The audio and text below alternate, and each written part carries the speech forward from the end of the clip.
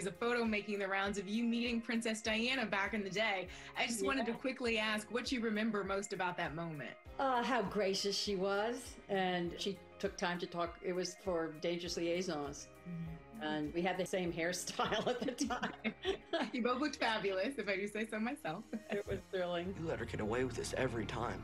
I told you that I would do better. You always say that. You're and lying. I always try. You got to think about these kids. What do you think I've been thinking about since I was 18 years old, huh?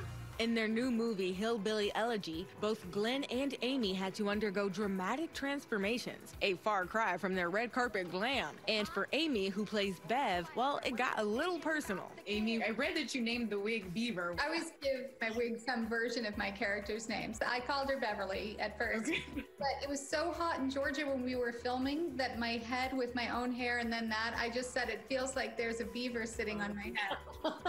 okay. oh, I then she got the beaver, and then I would call her Beaverly in the morning, which we thought was a fun take on that. I know this ain't right, honey, but she's your mother.